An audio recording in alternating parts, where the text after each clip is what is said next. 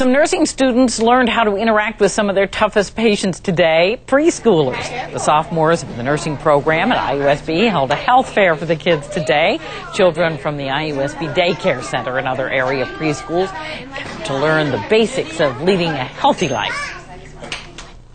Other booths are like for vital signs to know their blood pressure and heart rate, um, nutrition, bike safety, um, fire safety, um, just anything health-wise to let the kids know how to, to live a good and healthy life.